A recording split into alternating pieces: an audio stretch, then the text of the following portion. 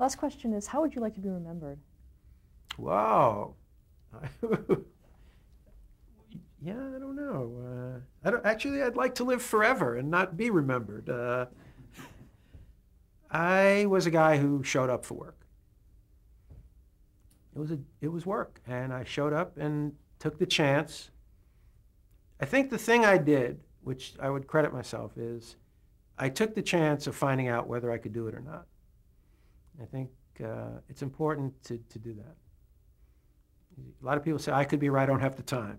you know, he's very funny at parties, you know. Yeah. Well, you have to, you have to show up and uh, put your ass on the table and see whether you can do it. But I would think that I, I want to believe that I made my success not at the, not at the expense of, of anyone else, you know.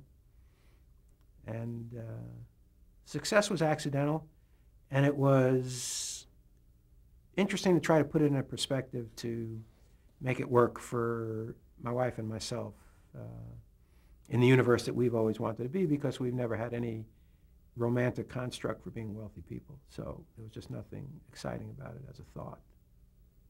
Um, I'm going to be remembered as Shana.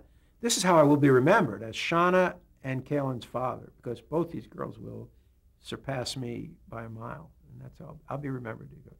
Yeah, they had the father who was also in the business. That'll, that should be, that'll be how I'll remember. Yeah, he, he also did something. So they're, they're in the business now? Yeah, yeah. Okay, well, thank you so, so much All for right. sharing your story with Thank us. Thank you. Thank you.